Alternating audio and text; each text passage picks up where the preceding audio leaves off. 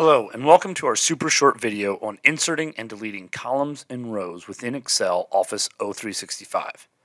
As you can see on our screen, we have a super complex Excel sheet here with uh, four different columns, first name, last name, mailing address, and email address, and then five made up patrons data inserted into our sheet. In our scenario here, we've decided that we want to keep track of cell phone numbers or a, a phone number to contact uh, these patrons. And we've decided that we want that to be listed after the last name before the mailing address. To do so, we're simply going to insert a new column named phone number. To do so, to insert it between column B and column C, we're going to left mouse click on column C, right mouse click on column C to get the menu to pop up, and we're going to simply left mouse click on insert columns.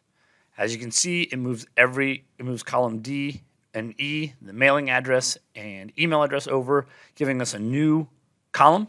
In here, we can simply write phone number, adjust the width of the cell, and now we've inserted a new column named phone number.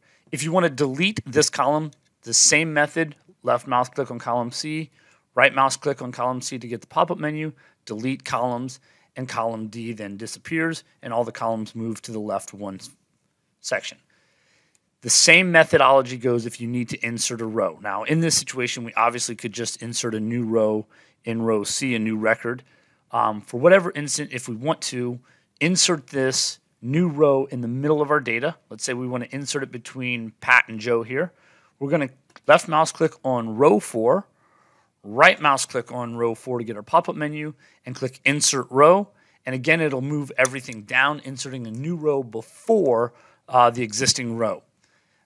To delete this exact same thing right mouse click delete rows and your rows have been deleted. Again super simple. Inserting and deleting columns in rows in Microsoft O365